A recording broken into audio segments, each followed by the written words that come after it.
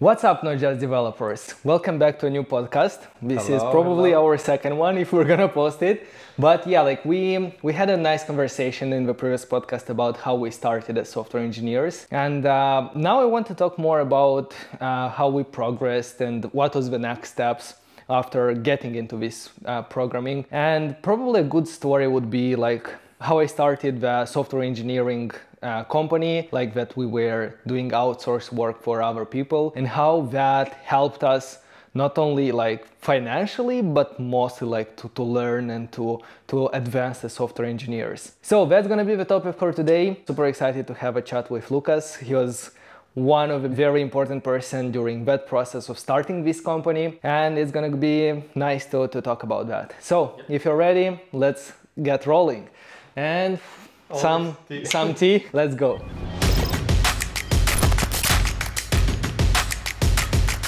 before we get into that like i want to to start with a context of why i decided to to start uh, first i started freelancing and then like it grew into this company. But yeah like the, the reason why is quite interesting. I had the same situation moving to to the university as you. I don't know probably in my case it was even more difficult because of a financial situation in my family. And just to afford uh, going to, to the university for the first year, which costed like 2,000 euros, More like the contract, contract, and then you had to spend like around 500 euros per month, like for uh, for Rent. the f- rent and for eating and I think and it was just even living. more. I would say like 500. Okay, the rent was around 350. For me, it was 300, and I was barely living out of 200. Yeah.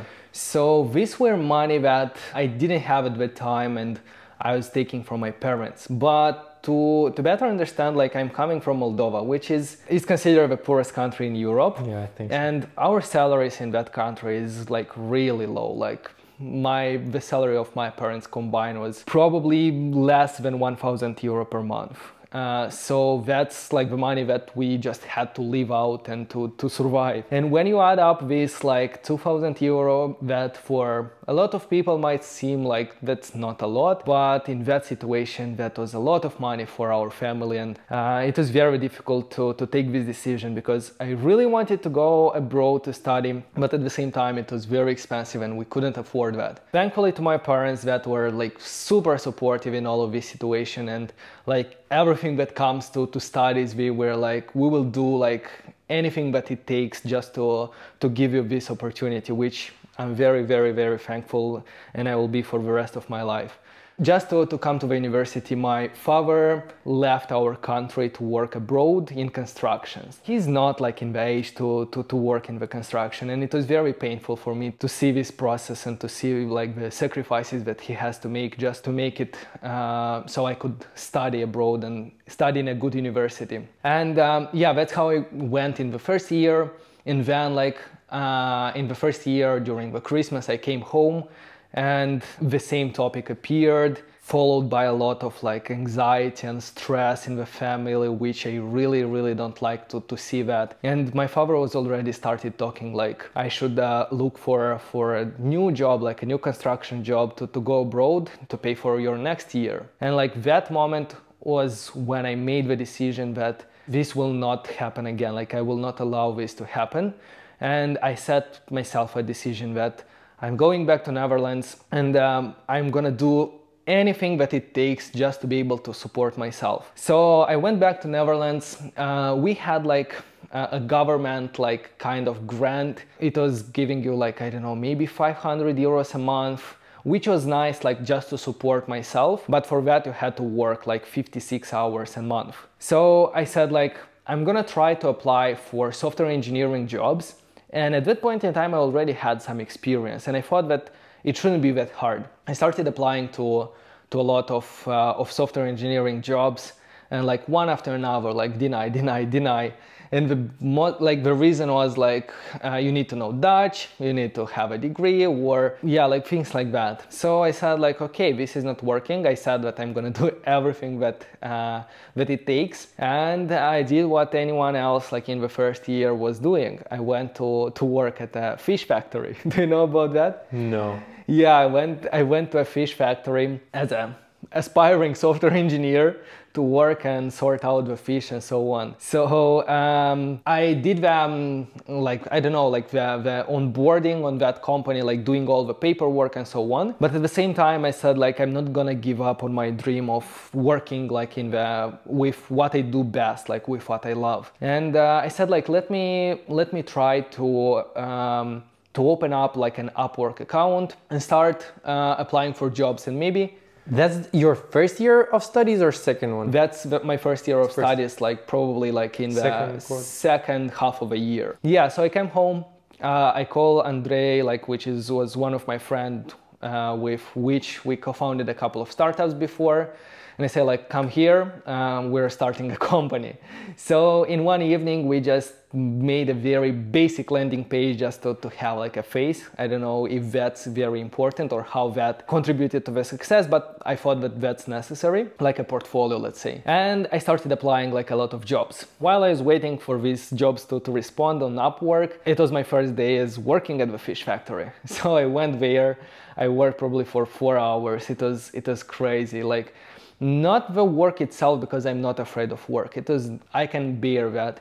But the whole environment everything that surrounds you and like it's very depressing. Like everyone has like stories that they were telling like how hard it is for them to live and um, what they have to go through. Like they have like kids at home and they have to come to this fish factory to work so it was very like a depressing situation for me there. I thought that like definitely that's not gonna be uh, possible, but I was willing to do that just to, to support myself. So I come home after the first day of work, working around four hours and we receive the first uh, we, we receive a first client the first client like accepted the proposal and let's let's get it done uh, i remember that project was like a very simple landing page uh, we were charging i don't know around $300 for that or something like that. But it was like the the milestone that i needed to to see that the i first can step. the first step that i that i knew that i needed.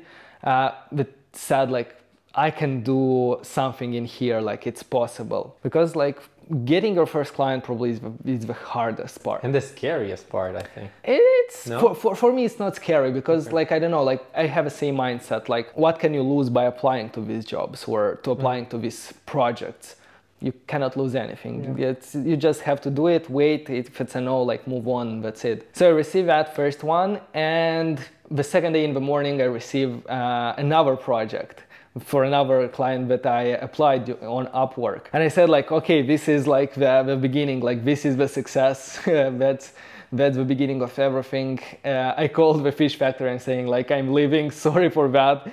They had to go through so many like bureaucratic, oh like to, God, to sign yeah. me up, to give me like a locker and so on, like uniform. I'm like, I'm leaving, I, ca- I cannot do it anymore, like I have something else on the side. They were super fine. They actually paid me for that four hours, like oh, wow. around 50 euro or something like that. So yeah, we started working uh, on these small projects. We started working with Andrei and that client, uh, we delivered the first project, it was successful and he had another one. So he comes to us I remember like the, the project was, was was insane. Like he wanted to do so many things. Like the scope of the project was crazy. They wanted basically a Uber Eats clone, like okay. with uh, a dashboard for the restaurants, what we did in the live stream, uh, a dashboard for the users, a mobile application for the user, mobile application for the driver, mobile application for the restaurants. Like it was crazy how many things. Yeah. So yeah, like he he said like okay, have a budget of two thousand dollars or something like that. I said like this is that's a lot of money, but I understood that the project is it's huge. Insane. It's it's insane. Yeah. So I um, I told him like, look, let's let's just focus on one application or like two, like the um, web application for the user side and web application for the restaurants. And yeah, like I priced it even higher because it was quite a lot of work there. And yeah, we got we got started and we were working at this project. And uh, soon I realized that I don't have a capacity to move on like with only me and Andre. I think at that time Andre already left Netherlands, so we were not working anymore together. And also at that time was when we started together working at university at projects. And I saw that you are quite interested in uh, in learning and quite interested in doing all of these things. And even though you don't have like this the, the experience, like you are hungry to learn and to grow. So I said like yeah let's let's do it together like i asked you to, to help me on a project i don't know if you remember that like Yeah. how, how everything Oh yeah, I remember that was my first like step going towards the uh, whole software engineering as well. Yeah and we uh, you started helping me i think we started working on a react native application No, the first thing I even remember till now my first task that I Yeah? needed to do. Yeah, I, Let's hear I, it. I needed Vadim asked me to put uh, copyright sign on the bottom of the web page. Yeah. You remember? No. yeah probably So that was my first task, which started everything, and from then I didn't stop like working in software engineering. But that was my first thing that I needed to. do. yeah starting small like with maybe Exactly. just displaying a text and then you very soon like grew to to take over a whole applications like then we kind of finished like with big tasks on these web portals Yeah. and then we decided to go into the um, mobile applications and for that like if i remember it correctly like you took over the whole one of the application Yeah. and you web page it was almost finished so only a few steps left so i was still working a little bit there and as well like you said i started very slowly like with a few tasks okay change color here add this text here then it moved to a bigger one to bigger ones and then at the end i was also like working with the backend and changing like uh, the logic at the time we were working with laravel yeah Laravel. remember yeah right how, now how was your experience with laravel I think I I really liked it. It wasn't it wasn't difficult. Like it was difficult because it was new for me, but uh, I soon got like how it's working, how everything is connected. So basically, I remember also like how everything happened when you invited me and said like for the first time like do you would you like to help me? And I was like yeah, of course. Like I I will take anything. Also like don't remember don't forget that I was completely a beginner programming so i was spending a lot of time studying and then taking on top like uh, another work i would Yeah. say that was very risky in my case Yeah, we were working a lot, like Yeah. sometimes till late in the very late i remember leaving your house like three o'clock in the night or something like that and going with my penny board back home. Yeah, and then you had to go to university. yeah in the morning. I i was grinding like crazy. And uh, i think it was a very good approach how you started like giving small tasks because then i thought okay i can do this i can do this. And it it wasn't that you get okay build this whole application And you don't know right where away to and, start. okay what should i do and uh, too overwhelming so it was very good and i liked that i'm not sure how to call it but It's the feeling like I don't know that you you succeed. achievement, Yeah, yeah. achievement, yeah. Because I started with even the small tasks were quite hard for me because everything was new. Just to them- find like where to change, Yeah, even if you had to change like the color of a button. Exactly. When you're a beginner, like where to find that button. because the code base was huge. There was a lot, a lot done by then when I joined.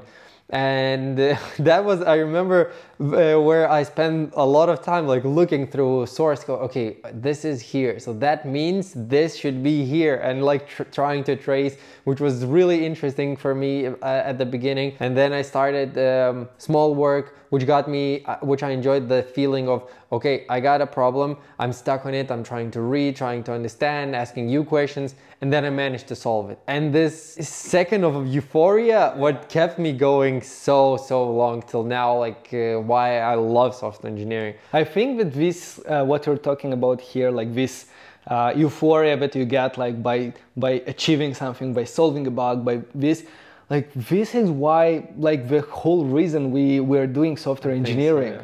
Because it's it's very frustrating at times. It's Yeah. very hard at times.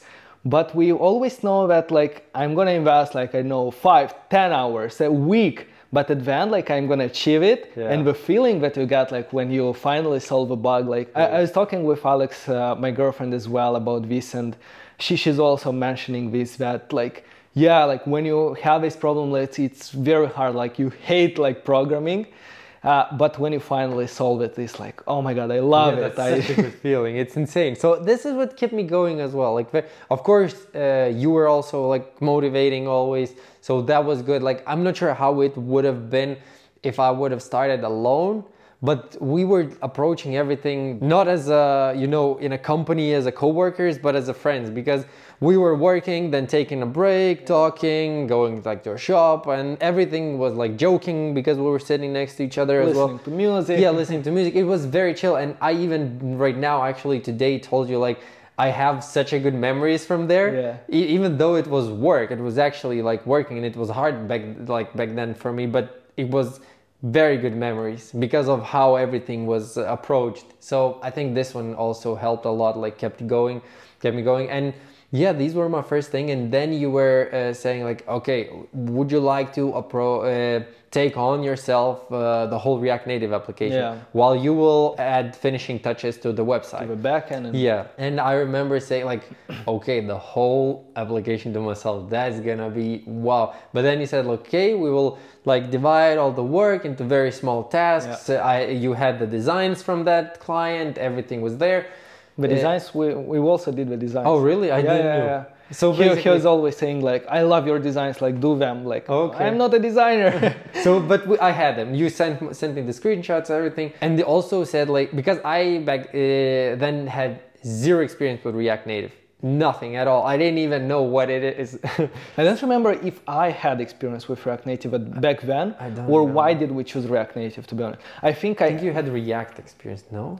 I don't remember, but I think like my first startup, which was before Van, uh, I think we tried to migrate it to React Native. We didn't finish, but that got me interested in React Native. Okay. And then I said like now it's a good uh, approach to, to, to take React Native and build these mobile applications Yeah, and it was them. popular. So I think, but you, yeah, you said like we're gonna build it in React Native and send me one course. I probably there was there's no way that I would be able to find that course right now, but that's what got me into React Native. I learned everything by following one course. Yeah. I followed that course. I did everything uh, like on my own then because that course was as well like not exactly but very similar to your approach how you're doing you're just Yep. building one application taking it small uh, like step by step Yep. and that's what I did I built that application step by step by following the tutorial and then I built the whole application with like my own interpretations on my own without looking at that code base and when I did that, I said, okay, we can start like trying, like slowly working on that. Um, I think it was restaurant dash where we started. Yeah, so I started working with that on the designs, and uh, somehow I Do you think to- you you would learn React Native that good just by following the course without go, without having to do it in a real world application? It's hard to tell. I don't have like. Of course, you need some kind of experience. It's different, but I don't know. Like it's really hard to tell. like what i um, experience is that like following a course like you you learn a lot of things you understand that the, the whole concept but it's required to, to take the knowledge the fresh knowledge that you have and to apply it directly into Yeah. into a real projects because the amount of issues and things that you're getting into by building a real application it's a lot and that's actually um, gluing all the knowledge together and now it makes sense like why we do things in a certain way I remember starting also like with very small tasks and uh, without logic. Then I started like to implement the whole logic, and somehow I've managed to build the whole application, which was like insane for me. I remember, but I remember we were working a lot, like going Yeah. to the libraries as well, sitting like constantly there. Of course, there was a lot of googling, a lot of checking. That's like, what uh, it takes. Yeah, that's what it takes. And uh, somehow it turned out to be i don't know if he's using that application right like we, we can talk about the whole experience of all this project but yeah like i wanted to mention like you you, you are mentioning about like uh, this euphoria that you're getting by solving small tasks and i specifically tried to, to give you easy tasks just for you to see that okay i accomplished something and this actually builds like this love for programming. Even if it's a small task just the fact that you're achieving it like it's very uh, empowering for you. It reminds me of the of the concept of being in the flow or it might have a different um, a different term. But basically it means that when you're in the flow the flow state is when you're doing things and you don't even realize how time pa- passes. Like Yeah. you're so like focused and interested in what you're doing. And the way to be in the flow is to have like challenging enough tasks because if a task is not challenging enough and it's lower than like your experience then it becomes boring Yeah. like if you're i don't know doing the same thing over and over and over again and you know it by heart it becomes boring and you lose interest. And then you're not in the flow state you're like looking at the hour like and the same happens like if it's too complicated and way harder than your uh, knowledge then it becomes like very challenging and you get discouraged because like i don't have a clue like how to do it. Yeah. so like the, the power to to always be in the flow and to always grow is to to pick up project and tasks that are just just above uh, your knowledge Yeah. in order to, to keep you interested but at the same time to make them possible to achieve and to get to this euphoric moment of like doing it and then like oh great success Yeah, exactly. and it wasn't easy to build that application by no means. It was re- like really difficult, but it that sense of achievement every time was that kept me going. And I, in the end, managed to build user side as Yes, well the application. second application as well. Yeah. It was insane for me back then. Like to see the whole application that's going to be like for a client. It was wow. Yeah. While I was just in the university in the terminal, we were okay. Two plus two equals four. Yeah, yeah. I think that this experience of working on real projects give a different meaning to, to why we'll, we're learning programming. Because sometimes like doing uh, all of these exercises at university and during courses and so on, like you kind of lose like why do we need Yeah. that? Like the whole four years in my college years, like I was doing terminal applications and I didn't see a value. Like Yeah. I'm never using a terminal application. Exactly. That's like I'm using like what? I'm using Facebook, for example, yeah, or yeah. Google. Like show me how to build those. But we are not teaching this in, in school, and like we need to take that experience that we're learning in school and implement it into a real project that we can see, that we can show to a friend and say like, hey, we I built it. Exactly. And that was the thing where, where I thought like it really makes sense how you approach the tutorials on YouTube channel because I didn't had any experience as I said mm-hmm. like when coming to university and while I was doing those terminal applications they were still hard for me but nobody explained me how this will be integrated somewhere. I was thinking like okay will uh, client ask me to create something in terminal of course like it's a joke but I knew that nobody needed but like I didn't You didn't see the- the big- the big Yeah. picture, right? The only like close to uh, when we started to seeing like okay kind of ish things when we started doing Android programming Or web development. or web development. But then it I kind of saw, but those tasks were as well like very random and very weird. Which like if they would go, they could do exactly the same thing on Android, but just showing like okay how to build Instagram clone. Let's say Yeah, that's more and interesting. you yeah because you know how that application looks in real life or you can at least download to check it out and building it in real life makes it that okay look what i've built that's it's Instagram. empowering yeah like now you, you have a meaning like why you're doing it and you see like how to put all of these pieces together to, Yeah. to get to a successful product that by the end is going to be used by users exactly exactly yeah i remember like the, the first thing uh, when i created that application that i was showing like uh, on for this client i was Yeah. showing to whole my family like look i did it by myself yeah it's it's um, i always i always tell people like to um, uh, when we are learning to try to actually build a project to try to, to implement like the things that we're learning there uh, yeah it, it gives a meaning to, to Yeah, what we're doing exactly. So that was the first step, at least for me. Uh, Like yours as well. Uh, No, you didn't finish completely. How you got to the company? yeah like uh, i started here like with with this client and actually like the work increased like the amount of work and besides this client uh, i was receiving other like requests for smaller project and i didn't manage to do everything myself. So i said like if i want to to grow this like i would need to to hire people to hire developers. And that was actually something that i wanted to do. I had this goal in mind of creating a software company and building these projects. So uh, I started hiring um, a guy from Moldova uh, that he was working a lot like for the project. I think he was working full time, so it gave me a lot of space to um, to tackle other projects and to, to look at the whole business as a, as a as a whole. Also, we had like one guy from South America, so we we had like around like four or five developers by the end. But yeah, like the we continue working and the main project was this client that we started with this experience was uh, was interesting because it was hard for me to see like a progress. Uh, we started with the same client. The project was huge, and I was having like quite a lot of conflicts. Not real conflicts, but I saw the way to develop this application, and not only the application, but his business a bit differently than he saw it.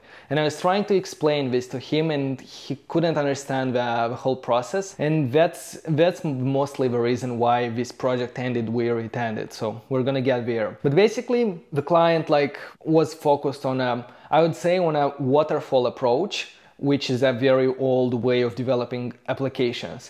And this means like, okay, we we are doing like the um, all the requirements then we spend like the next two years to develop the application then we throw it in the market and we see if it works or not how new companies are doing things and how new startups are doing things is more of an iterative way of like i do an mvp in one month I release it to the clients, I start working with them, I see how they interact, and based on their feedback, I improve it. So as coming from uh, from having some startup experience and uh, being very interested in startups i was trying to push him to go with this approach like hey let's let's just like we have a very good product. Let's stop here. Let's release it. And then based on on the feedback from the user and the market let's see how it goes. But he was different. He was like no no no. Let's develop like more features. Let's develop this. Let's develop this. Yeah. and i quickly lost uh, the sight of where when this project will end will it take forever because that's how i felt at that moment so i know an example was like companies had to upload like images for their dishes and he wanted to build a full scale image editor inside that application to be able to crop the image, to be able to edit the image, to be able to remove a background, oh and God. all of this stuff that I was thinking like, is this really that important to, to just get started and get clients and get working? Because I'm pretty sure there are applications that will do image editing way better than us because we have more resources and more time.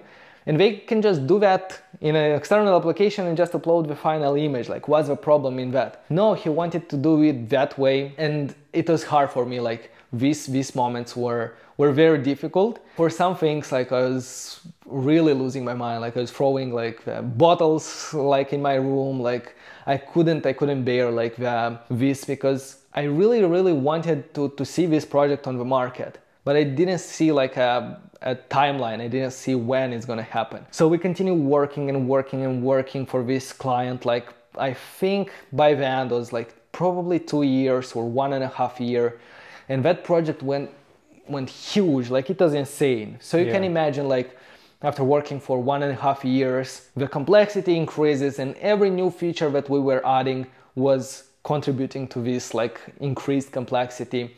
And it was making everything like even harder and harder and harder. So yeah, like that was the experience with with this client.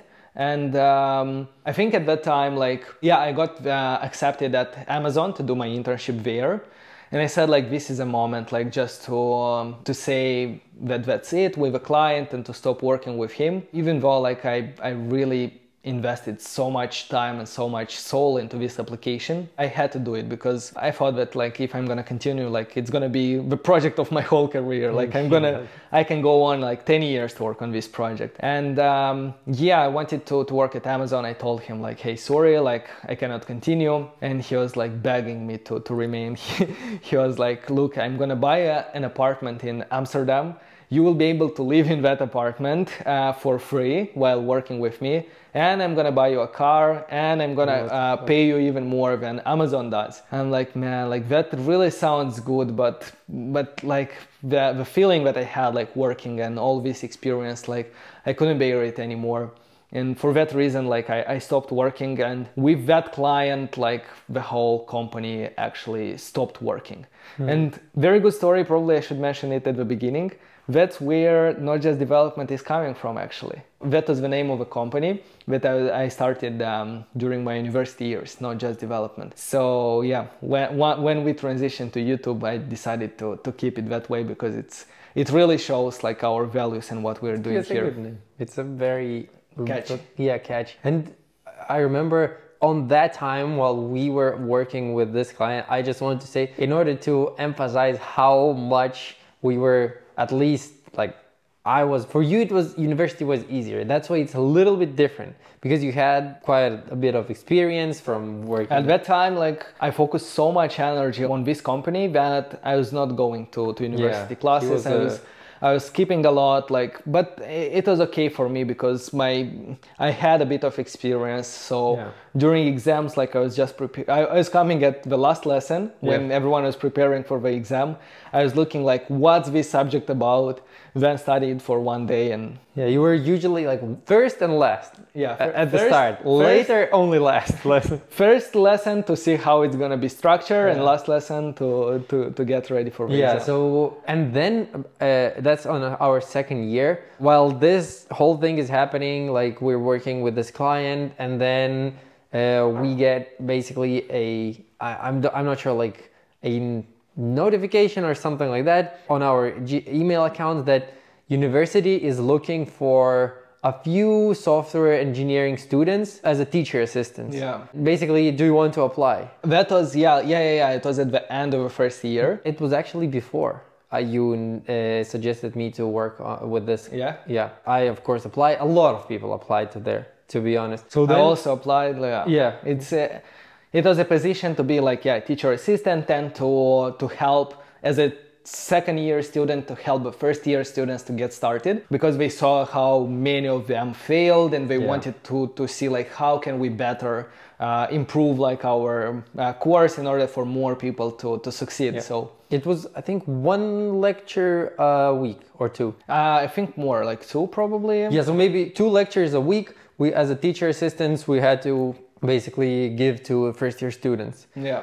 And uh, okay, so a lot of people applied. So the first round was uh, they were checking the ones who applied. They were checking their grades. And actually, because I failed uh, on the first year, I was studying a lot, a lot, and I passed uh, Android programming. I got a 10. Introduction to programming, I got 10 as well. Nice. And basically a lot of very high grades on uh, programming related uh, subjects because that's where I was spending my most time. Like business analysis, Yeah. I got a six or something because it was very not You interesting. just focus on what's the most important. Yeah, yeah, exactly. So I got very huge grades, and that's why I got past the first uh, basically phase. And you, I think, we got as well like high, very grades. I think as well nine or ten. Yeah, yeah, yeah. In the first year, it was Yeah. quite easy for me. Yeah. So we got past, and I think uh, they were looking for four international students Yeah. and four Dutch students. Yeah. So then the second part was where Like you an had interview? Yeah, like an interview. But was it with the role playing? The Yes, second one, right yes. away, right? Yeah. So basically, how it went was we, we had to go to a room with the two uh, programming teachers, and we had to role play uh, a, a teacher and explain a problem to a student, student. basically, which was uh, our actual teachers Yeah. of programming. And they were giving us a problem, but I wasn't able com- to completely explain this problem uh, to the student, but I was talking a lot. Like it depends on how, how much. yeah. I was talking a lot, and I was trying like to be actually really role play. Not like I, I think I had an upper hand because a lot of programming uh, students in our class were like, okay, add a add a plus here, and that's why. But and I was trying to approach it like how I would want as a zero experience student to like get information like step by step. What we were looking for in that uh, exercise is not like not for us to solve a problem Yeah. but for us to help the person solve it themselves.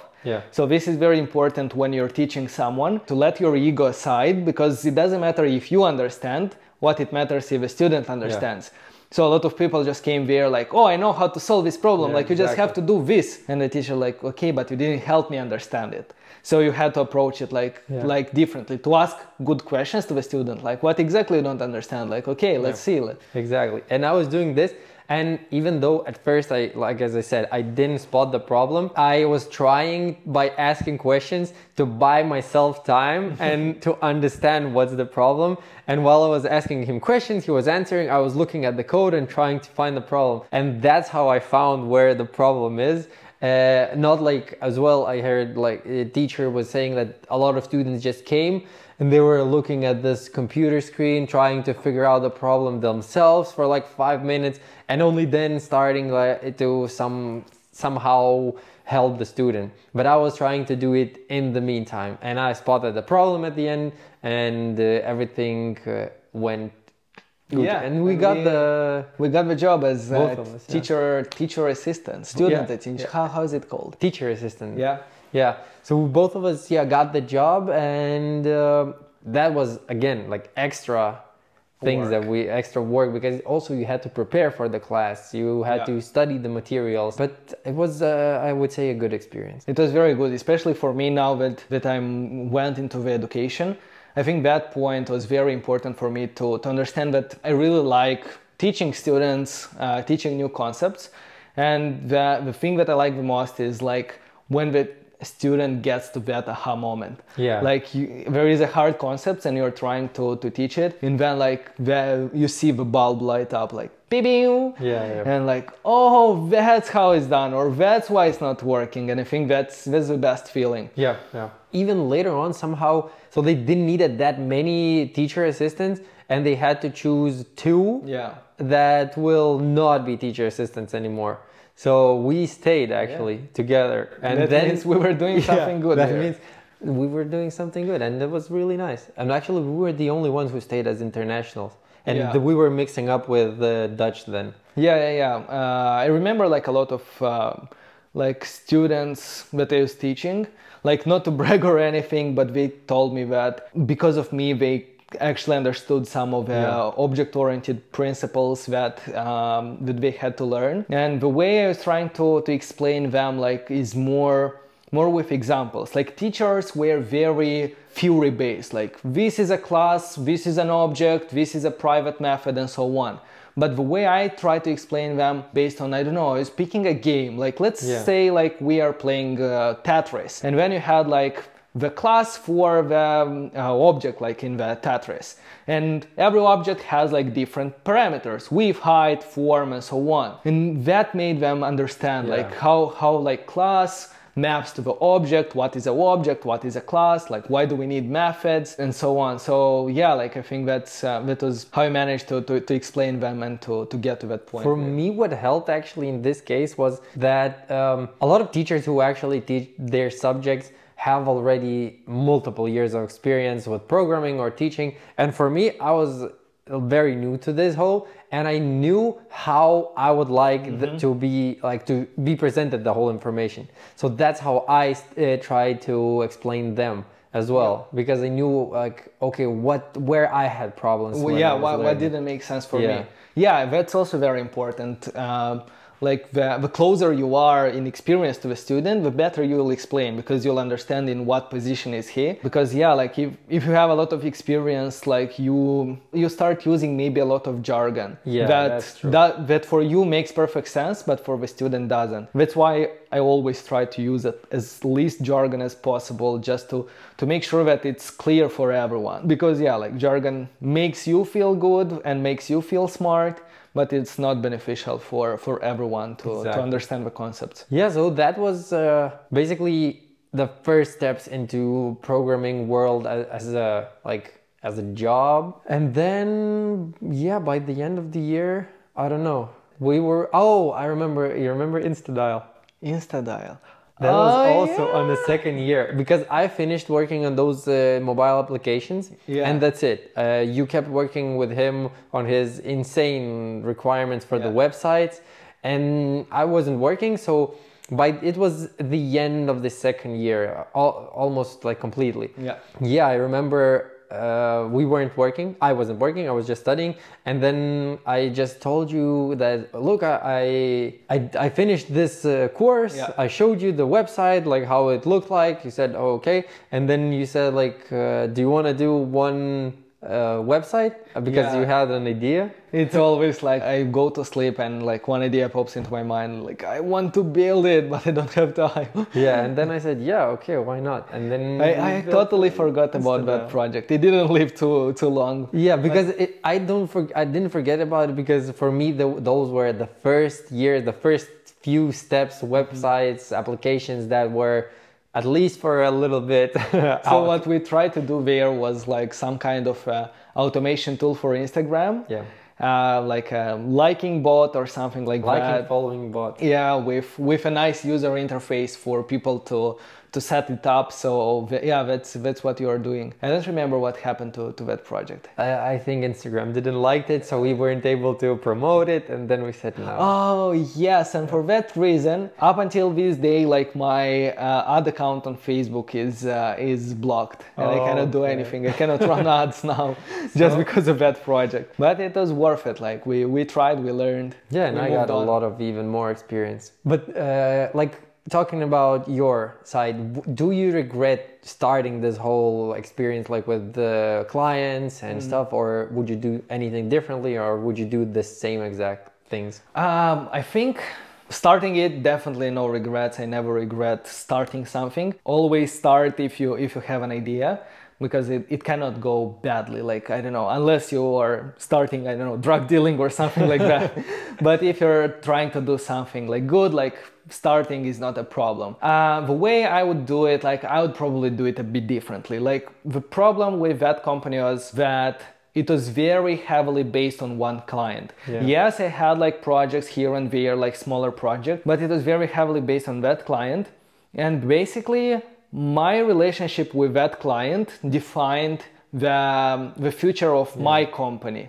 And I think that was my mistake that I did. And in a way, you could say that I was not running a company, I was just working for someone else. So, and in fact, like mostly it, it has its truth. And in this regards, I would do it differently. I was talking these days, we, we had a, a guest that he has like a company building websites, but he's very smart about that. He's taking only like very small projects, very clear project that has a start and an end and um, he's using very easy technologies like uh, like no code tools or um, things like that that you allows you to build application fast and because of that like it's very predictable for him like okay if i get into this project when it's to start how it's to end like and what people will will be required there and that allows him to to delegate most of the stuff and focus on the business. This is another problem that I had back then, and actually a problem that now I'm realizing that I have it notJust Development as it is right now as well.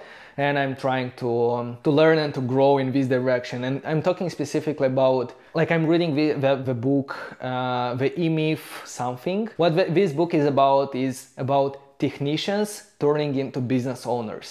Basically, a person who is very good at one job, I don't know, plumbing, programming, anything. And then he says, like, I'm that good, like, I need to start my own business. Why do I need to work for this person? I need to start my own thing. What happens then is that they go into their own business and they're just creating a, they're not creating a business, they're creating a job for themselves. So they're basically even more dependent on this job because it's their business, it's their work, and um, they start tackling all of these technical problems like coding. In my in my case, it was like coding, so I was mainly focused on coding all of the time. I didn't allow uh, and I didn't have more time for doing business development, for looking for new clients, for better clients, for trying to set good processes in the company, for me to, to delegate as much work as possible and to focus on this uh, business development because I was that focused into the actual implementation and actual coding. And yeah, this is a problem of technicians turning into business owners. And um, this is again like what I realized now with notJust Development because after after the launching the course I went through a period where I felt a bit overwhelmed of everything that was happening of all the work that needs to be done Yeah. because besides all the work that I had before now we have a new batch of students that all of them need support all of them need help. And uh, I was taking this responsibility myself. I was personally going and helping everyone in the course.